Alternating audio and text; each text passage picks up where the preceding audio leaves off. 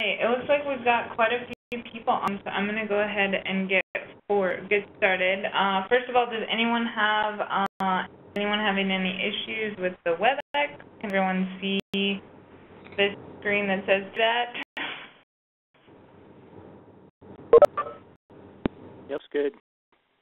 Um, folks, gonna dive right in. Uh, the first thing I want you guys to know is I'm gonna try and keep this pretty casual. So if you have questions that come up as we're going, um, please let me know. Uh, we can stop and talk about the topics that we that I'm on, uh, since we're going to kind of move through a, a few of them. The other thing I wanted to tell you is that I did schedule two more of these, one for October and one for November, just to kind of, if people have additional questions, if there are changes I wanted the venue, just so that we could ways to talk about data, um, specifically TerrADat. Uh, so first things first, I'll introduce myself. My name is Sarah Burnett. I am, as of June, I'm the data, the AIM data manager. You've probably heard my name um, through one of the other venues.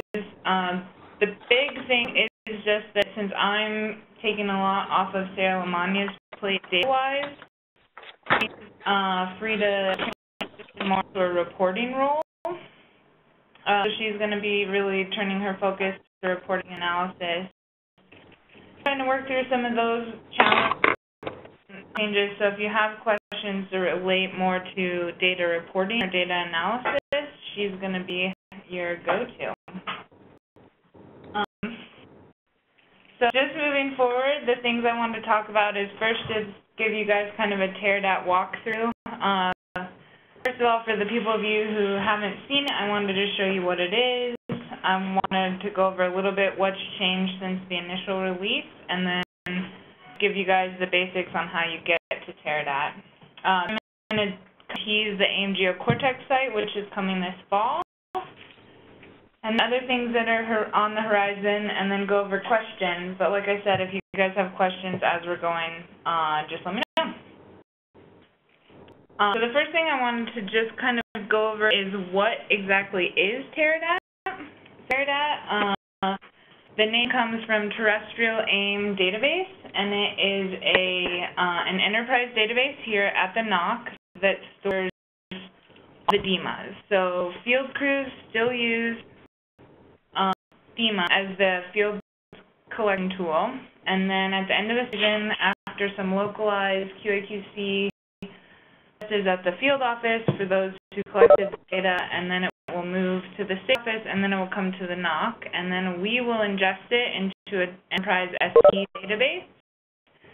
And we can serve the data out back out to you guys. Um, the data is each indicator for each plot calculated, so it's not the raw data, it's the sum of calculated data for each point. Uh, one of the benefits of TerrADat is that we serve it out through a feature service, which means it's served in ways that can be ingested in multiple devices. Uh, up on the screen I have our GeoCortex site, which ingests the features, and you can also use just ArcMap to look at the feature service and export your data if you want. Um, good things about TerrADat are we do some of the calculations for you, so the core indicators are calculated by plot. Uh, we also calculate some of the supplemental indicators like IRH and uh, the soil stability. Uh, it's going to help us with data calls, so hopefully annually at the end of field season, you can shoot us your DIMA, and when Washington calls about every five minutes to want data for something, you guys don't have to be part of that. We can just deal with that here at the NOC for you. Since it centralized storage means that it's in one place, that you guys don't have to do that legwork for storing these core indicator cal calculated core indicators. So it means we can use the data at broader scales than just your field office, which I think as we move forward with Sage-grouse implementation, all that's going to become more of a priority. So that we move forward on TerrADat, I want to stop and take a minute. Sarah Lamagna worked so hard getting this up and running, and it's really exciting. So it's a lot of work, and it's really it's really fruitful because it's a really awesome thing.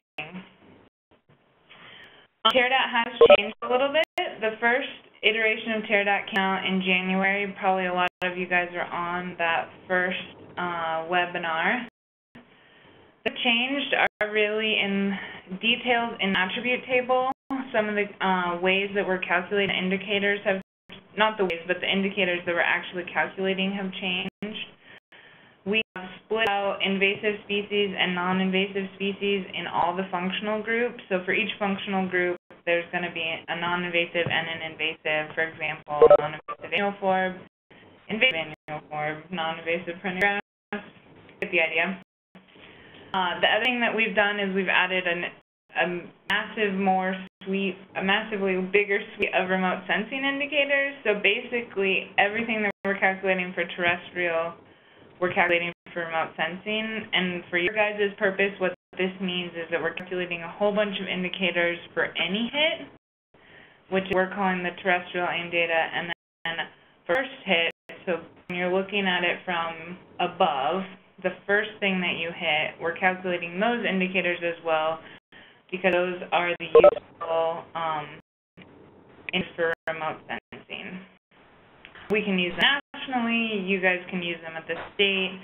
Uh, I think the remote sensing indicators are going to be really interesting and exciting, and hopefully we'll get a lot of really cool products coming out of there. Uh, the other thing that changed is we added a primary key that's a concatenation of the plot key and then a date load into the database. Uh, and the reason this is important is uh, a couple of ways that you can export the data back out of TerrADat and use it at the local level. And anytime you want to do a join between uh, like a spatial and a tabular data set, the primary key is going to be the way they do that. And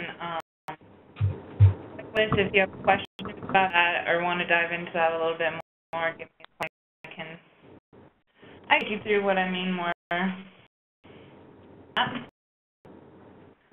Uh, so one thing I'm going to do now, I'm just going to kind of start walking you through that, what it looks like, and uh, the demo. I want to first say everything I'm going to talk about is in the TerrADat instruction manual, which was as an attachment to your uh, the site. It's also located on the ARM point under the implementation folder. So if you lose me or if I'm talking too fast, um, just go there and you'll find the exact same information. So this is what TerrADat looks like um, when you open it up. Um, all the point data. Um, we have some symbolization that um, is in but if you zoom to your level, you'll see all point data um, for each, and for each of the indicators. So if you want to turn these on and off, you'll see different indicators symbolized. Have it in ArcMap. Uh, the way that you get it into ArcMap is pretty simple. You're going to go to the Geospatial Gateway site, and if any of you guys haven't been here, I'll put a link for this on the invite as well, so consult that because in addition to that, you can get a lot of the other uh, data sets that uh, the BLM publishes. So a lot to see on here. Um, get to this Geospatial Gateway page, you can scroll down to Data Navigation and open the vegetation sign, and then there we are, the BLM terrestrial aim.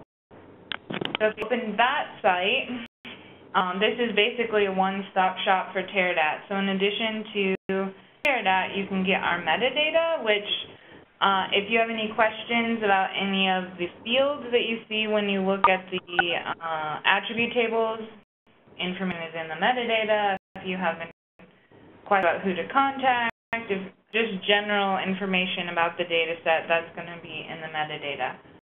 Um, so the way you get the data from this site is you just click on BLM National AIM TerrADat. Say, open this site in Internet Explorer because it will not work in Chrome, which is a lesson I learned the hard way. And Vanessa Stepanek wanted me to let you guys know that if you're having trouble with any of these pages, um, contact her and she can get it up and running or tell you what's going on, like clear your cache, which is one thing she had to tell me. So um, this is a really good page to know, and it's a really easy way. So if you click on BLM name, it's just going to pop up this question, and you can either open it, which will open it right in ArcMap, or save a layer to your local machine, and you can use that layer anytime you want to get to TerrADat. The cool about that is that you then mix. So you save the layer to your local machine, but that's basically pointing back to our SC database. So as we change data on the back end, it will automatically pop up in your MXD. First of all, does anyone have any questions about that process?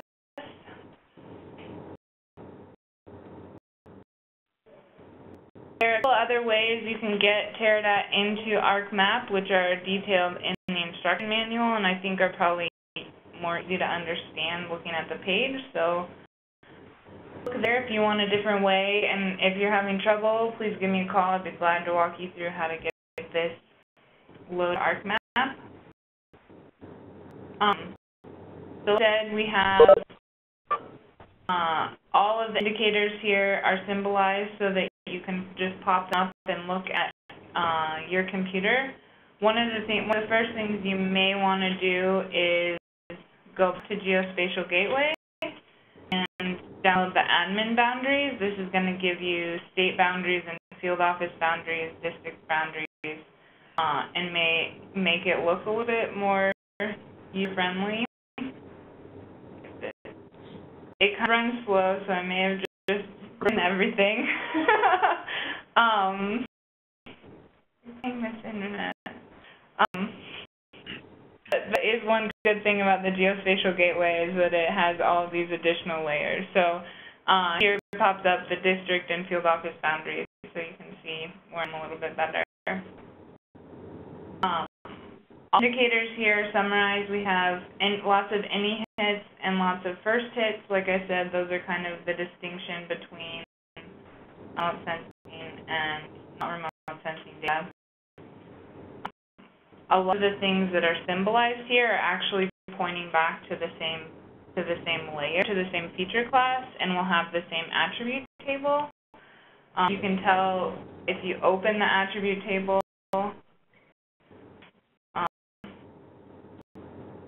the same massive table in here, which has, for each point you're looking at, it has all of the indicators summarized. Um, so there's all the non-invasive and the invasive. So the table, which is why we thought you guys might like just having it symbolized in the list. You can also look at it here, basically however you would use ArcMap, you can use this data set, including exporting it out of TerrADat onto your local machine and doing analyses there if you want. Um, the way to do that is you can uh, select data by the area you're looking at. So if you open the attribute table and you go into this upper left-hand corner, um, by attribute, you can choose the project name, the site ID, however, um, you can also choose things spatially. I'm sure you know this if you use ArcMap. Some equals, and then it's going to give me all the different projects. I can query out by the project I'm interested. Say, oh,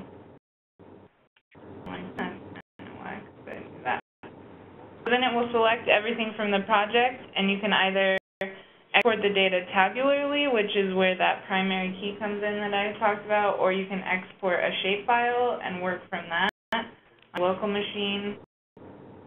Um, export the tabular data, you do it in the table, you go down to this export, or if you want to do a shapefile, you go back to the layers list, and right-click on the layer you're interested in, and data and export that, and that'll export a shape file. I know this is a lot to take in, and I talk really fast, so um, if you have questions, please, please pipe in. Um, as I'm going to move into it, move on to a different way that we can look at this data, or that we'll be able to look into this data through the GeoCortex site. But I just want to pause for a sec. Does anyone have any questions?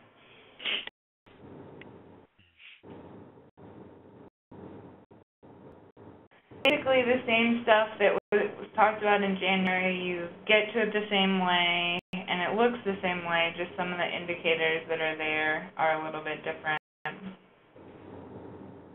Um, This is Jason. Can I ask a quick question? please do. Yeah, so I missed the first five minutes, and I apologize if you already addressed this. And I've I've only first heard of TerrADat here about a week ago. So did you do a general introduction to what it's all about, where it's stored, how people get to it? I mean, just the general uh, understanding of what we're looking at.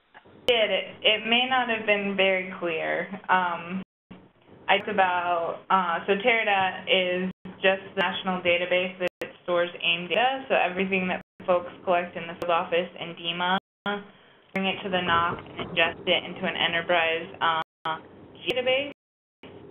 Uh, so what you're looking at is the nationwide compilation of AIM data.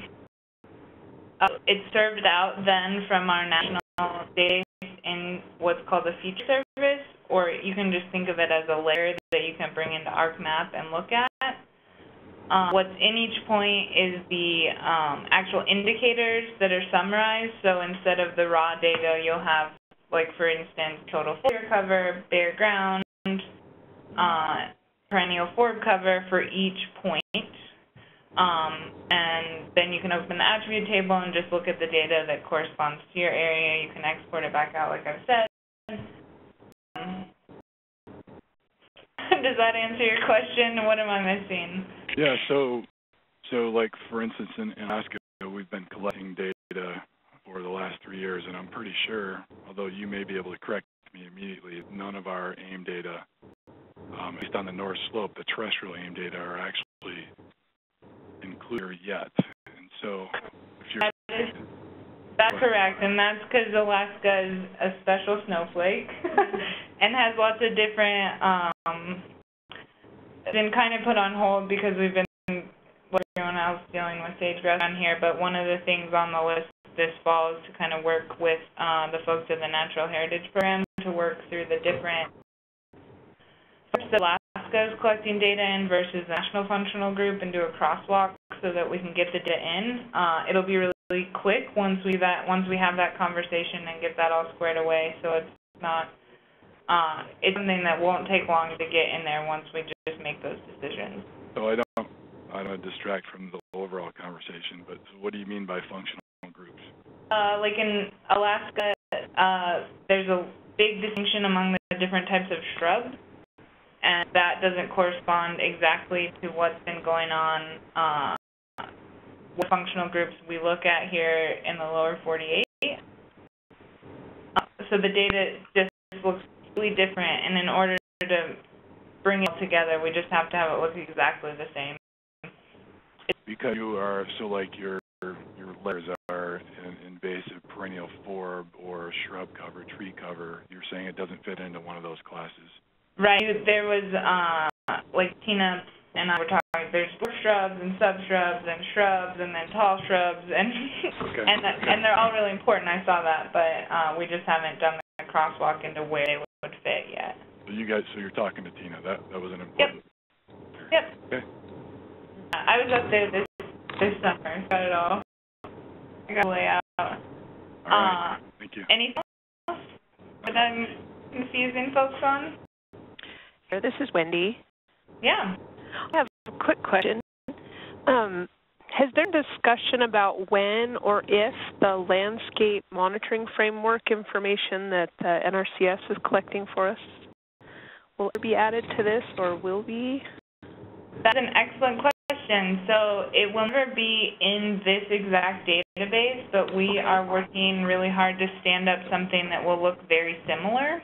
Okay. have have similar calculated um, indicators, so the data will be really compatible. They just won't be stored in the exact same database. Um, but we'll serve it out in, exact same way so it'll go on that page that I showed you on Geospatial Gateway, and that should happen sometime this fall or maybe early next spring. Um, the the tier priorities was tiered up first, and then LMF data second. So we're we're hard at work on. Okay. All right. Thank you very much. Yeah. Hi, Hi there, this is Melanie. Um, I have a question. I think I might have asked this in an email, and I wasn't sure if this was the TerrADat WebEx that was going to cover it, but is there a way to get, like, all the raw data? So, for example, if we wanted to look for where there's, like, only one species, like, if we're looking for Scotch thistle, could we take all of our somehow, or is that in any of these um, and find that percent cover or just that the presence of them there, present or absent. Um, is there a way to do that? we we're not serving out the raw data. Our our strategy has been that if you want the raw data, that your DIMA is going to be the place for that. I will say, however, GeoCortex site, I'm going to demo here in a minute. We do have a tool to look at plots based on what species are in those plots. So stay tuned and we'll see if that covers your need. Otherwise, uh, you and I should talk about if we're missing if we're missing what you need, maybe how we could address that. Okay, because I just know that there's multiple like projects that collect data in our district, and so I go to them and just get their raw uh, DIMA and stuff. But if it's not if it's not QAQC per your TerrADat sections or whatever, so I just because we're looking at it for weed stuff too and stuff like that. So I think I think around for the cortex thing. Okay. I think I think that's gonna give you what you need, and if not, um, get you there. Okay, cool. Thank you. Yeah. All right. On that note, I think I'm gonna transition over to TerrADat or the Cortex. Sorry. Um, so, tool background. Um, those of you who don't know, GeoCortex is the name of a program that we've been using here at the BLM for a little while now. It's basically a site builder that lets you ingest um, these services. So in our case, this feature service is the exact same one that you would pull into ArcMap. We're just pulling it into a website that, and we can create some tools within that website to more easily let you manipulate the data, look at the data, report on the data, um, some of the cool things about GeoCortex is that it's not like a one and done. So what, what will be released, what I'm showing you, and what will be released later this fall is but we have the ability to always be adding on tool functionality, and we can really listen to what you guys think of it and uh, improve upon things or things that we're really hearing that are missing. So um, it's a cool program. It's a pretty cool site. Um, it's BLM internal, so um, it will just be able to be used inside the firewall. Um, when data goes public, we may have a conversation about releasing this site publicly, but for the near future, it's just going to be internal. Um, this, this screen, I think, can everyone see the site? Yes. Awesome. So main thing is that under this I want to menu drop down, there's quite a few tools you can look at. Um, there's some zoom tools, so I can zoom to areas, offices, etc. within the BLM. We have lots of different options, topo quads, watersheds. Yes, um, I'm going to go to a field office. Um, just work you through this really easy to use navigation system. Um, I'm just going to go to one I know we have some data in. Um, so you have to pick a district, you could pick a field office, or you could grazing allotment. You don't have to pick those, and then you just pick next. It's going to zoom me in there.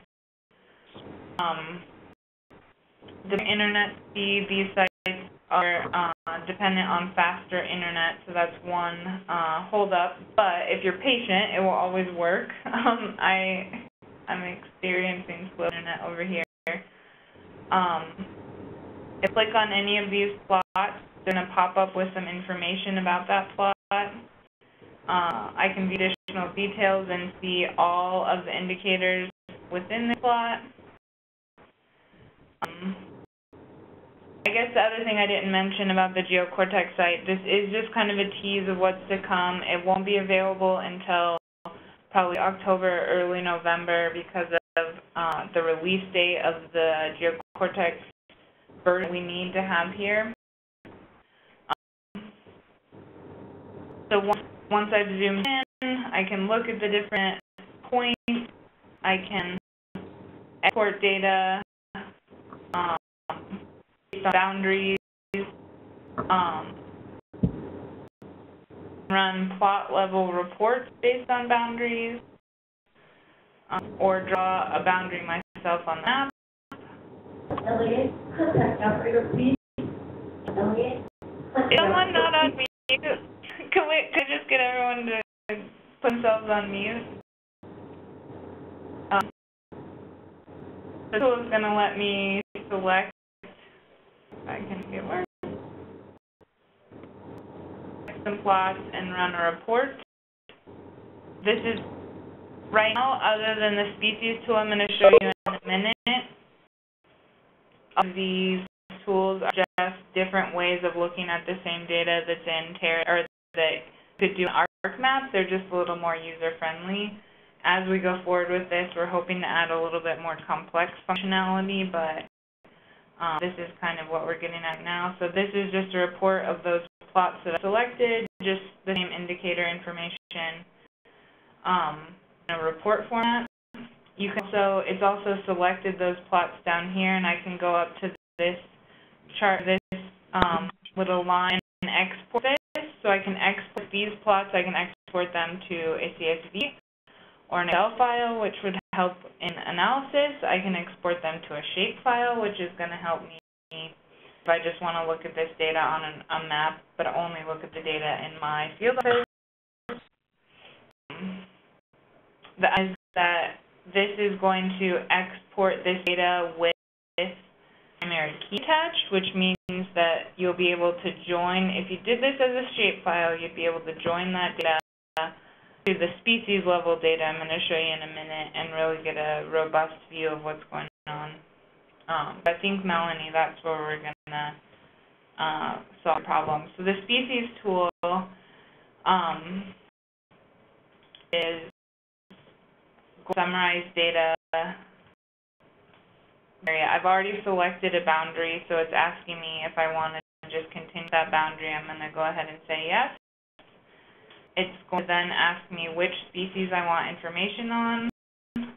I'm going to say all of them. I'm going to ask me for my email address, and it's going to actually email me an Excel file of the species summary for the area that I've selected. I did earlier so I wouldn't be burdened by the internet, but it sent me this email with an Excel file attached, and this is the Excel file. Um, not exactly what it's going to look like. There's a couple fields missing right now, but this is basically what it's going to be. So the page is a disclaimer, then it talks about the species we are talking about, and it's going to give me a species summary for first hit, which is the remote sensing information, and then for any hit. So for each species, it's giving me percent cover on that plot for that species. Um, so I you you have to work with this a little bit, but if you join this back then to a shapefile, you can filter out by where the sagebrush is zero, or plots where the cheatgrass is not zero, or things like that. So it's going to be like a little different way to manipulate your data, and the species thing is something that we heard were really interested in. So um, I'm hoping this will give you some more functionality. As this site comes out, I'll, continue to do these webinars, and we can work through some of the things I was just talking about in a more detailed way. But um, yeah, this is what we're looking at. Yeah. This is Mark Coca, Nevada. So with that species summary query, is that only available through the the GeoCortex site? No functionality as part of uh, GIS? Right. That is just say that you have to do this query. It's going to the GeoCortex site and not through like an ARC-based query. So yeah, it's just through the site. Okay. Thank you. Sarah, you could, essentially, you link it back into GIS with the plot keys though, right? So you could just use it, those. Right, and for places like Nevada, like if you want to give this to GI, we could do that query for you and send it to you, and it would theoretically be something you just have to do once. Um, there are coming across like a too many plots times it out, so you need, really need to like look at your field office. But like I said, since it's like a one done, we could do it for each field office in Nevada, send it to you, and it wouldn't be much work. And yeah, then you can link it up to the, the plots GIS and start going from there. That's good, that's what we're looking for. Awesome, glad to hear it.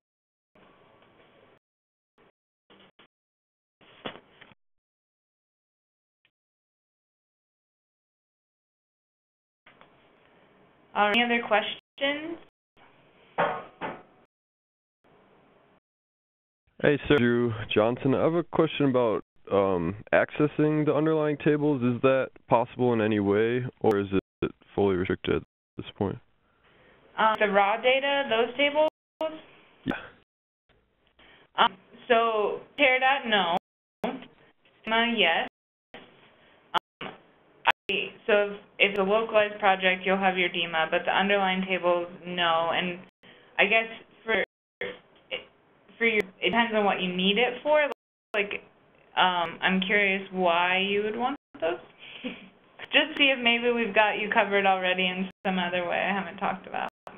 Yeah, uh, I guess we're just kind of starting the initial processes, but I was talking with Sarah McCord um, about some of our DSNR and looking at, you know, trend analysis of plots um, that we've done for three years now. Mm-hmm. So, not sure if that's something you guys are serving up. Hopefully. So the data that's in here is the data from all years. So you should be able to go to your area and look at the plots and see the indicator summaries for each plot over the three years. And I think uh, I think you'd be able to get trend analysis for that. I kind of doubt you'd need to go back to the raw data, but um, she's actually she's going to be the one to talk to about if there's information that you can't get out of TerrADat, going to DIMA and getting that same information, and then we can we figure out ways to link DIMA data to these plot locations and start making it all talk nice to each other. But um, as you guys, I guess, continue that conversation, maybe link loop me and I can see what needs we're meeting. For sure. So Sarah Lamagna, um, and I totally appreciate everyone's concerns about raw data and making you have access to that. Our concern has always been that it's a really, really messy background. Uh, uh, even for us to make it as simple as we've done it in this feature service has taken a very long time and a lot of legwork. So to make sure that people understand how to join all of the related tables and all those sorts of things, that's why we haven't served out those the raw data, um, just because most of the time it's going to be extremely confusing for most people. So, like Sarah said, if if for some reason we're not giving you need something that you desperately need, just give us a call and and we can work work through that with you. And then if we have calls and everyone's looking for it, then it'll be sort of part of this service. Um, same why we have that, that species tools because we realize people are going to want to know about individual species. So, um, yeah, my two cents. I guess the other thing I'd love to say is that we do we are storing the data. It's it is in kind of the back end of this enterprise database. So if there were a need that could be met otherwise, we could we could build a query to query that out. It would be pretty complicated and like um, you said, pretty messy, but I don't want to take any options off the table completely. So I have a question. This is from GBI. Um, is GeoCortex going to be accessible to the public? And by the public, I mean, you know. Not for the foreseeable future. So as as is a common BLM thing, putting things out beyond the firewall is complicated. Right. Um, we, like you're saying with Mark Coca, we'll be able, we can shoot you some of these, um, the, the species summary for you, uh, if you need it, and when, when, um, we're, we're working hard to make TerrADat public, so when TerrADat is public, then, uh, you'll at least have access to the data. You won't have access to the GeoCortex tools, but you'll have access to TerrADat sometime soon. Right. Uh, and you put together instructions for accessing TerrADat, like in a write-up thing, correct? Yes, and as, uh, well, Lamani did a lot of the work, but it is attached to this email, which I also suspect you can't get to, but, um, Right. but I'm I'm, concerned about getting this forward to range cons and the wildlife people at the individual districts. And since I can't, you know, since I can't get access to it, it's hard for me to do that. the, the instruction manual is really, really detailed, so I would feel comfortable with, um, Mark or you or whomever just sharing this invite, sharing the manual with anyone in the BLM who wants it, needs it, and with the instruction that if they're confused, give me a call. I'd be glad to help them through it. Thanks. Yeah.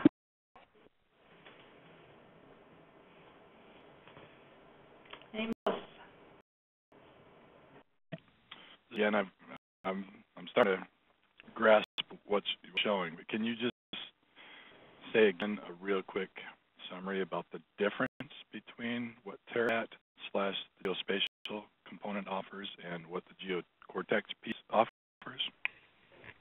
The fundamental thing to keep in mind is that they're both ingesting the exact same data, so they're different front ends for the same database. I think that's important, so it's different ways of looking at exactly the same data. What Cortex is offering us is, um, like we've built in this species summary tool so we can query the data by spatial areas and have a report of, for each of the points in those spatial areas, what the species percentage is. Not something that we have done in TerrADat, and it's not something that's easily gotten out of DIMA. So that was a real need that they was in, and GeoCortex was the only way that each way we could see to solve that problem. The other thing that GeoCortex allows is just, it's there, it's a website, so it looks a lot like what people are used to using. Um, you can export data straight from there. Um, for those who are not heavy ARC users, it might be the only place they need to go. Um, for those who are ARC users and want to look at the data a little more in depth, then they may go to um, the uh, the TerrADat feature service in ArcMap. The caveat is that right now uh, GeoCortex isn't available yet. Okay. And so we're doing the kind of geospatial interaction, we're doing services by um, area of interest, we'll call them. Mm-hmm. So there were some, you go to an area of interest, to show you just the data that are available for that area of interest, or does it summarize the bare ground, say, per that area of interest? There are no summers in it yet. That is, um, as anyone who has dived into AIM reporting and analysis will tell you, it's a really complicated issue. So that is kind of what Emily Kachergis has described as her pie in the sky desire, that someday we might be able to build in a, like a poly, polygonal um, spatial summary tool into all this. But right now, it's still just the plot level data. So bare ground at the plot, and so um, it show you the plots that are in the area of interest, but not any any more summaries than that. Okay, that makes sense.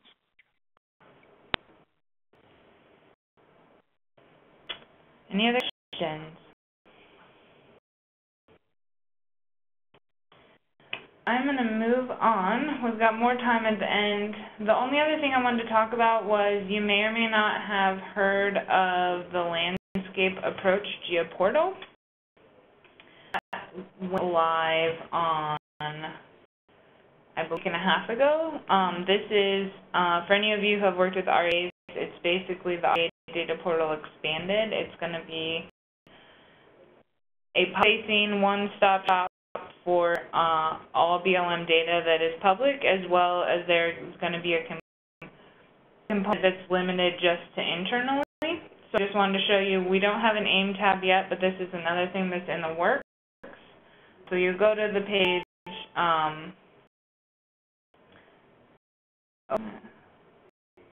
you'll say this, and then it's going to take you to this data portal site. Um, like I said, REA has a tab, FIA, Sage Grouse, and there will be in the next six months an AIM tab.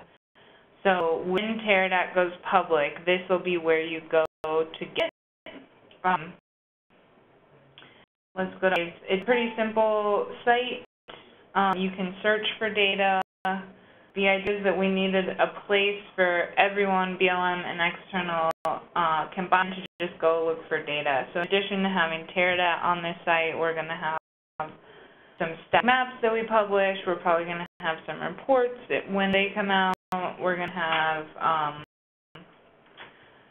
and we'll have pretty good metadata, so there'll be good information on who created it, when it was created, all that kind of information. I just kind of wanted to tease as well. This site is live, and I think I put a link to this in the invite. Um, so if you need all your fiat data, go look for here. Um, I think this is going to be a really helpful tool for hopefully when the number of pages you guys have to go look at. We will, once this is live, we'll have a link to the GeoCortex site from our AIM tab, so you should be able to uh, go here. We'll have a link to the Landscape Toolbox site, which will have more of the background information. Um, so that's, I thought this might be something that you guys are interested in and want to look at. So um, that I think was the last thing I had. Does anyone have any other questions about the landscape portal or about um, that or GeoCortex?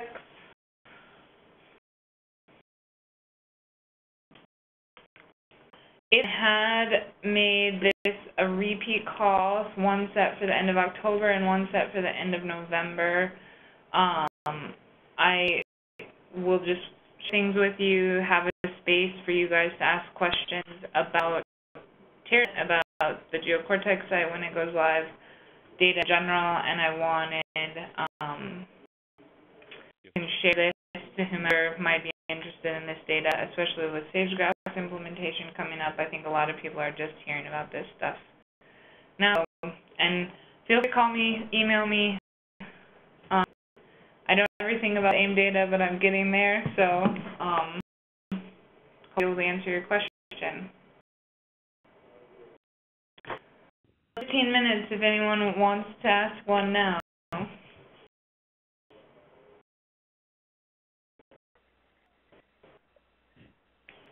Not, I'll close for joining me. Thanks. You, Sir. Thank you. Thank you.